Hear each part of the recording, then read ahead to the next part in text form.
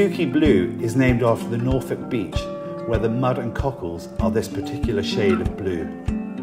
This blue is an alternative Down Pipe when used in darker spaces, but will appear very much bluer in well-lit areas. The same colour can often look quite different depending on the light, so it is always useful to test.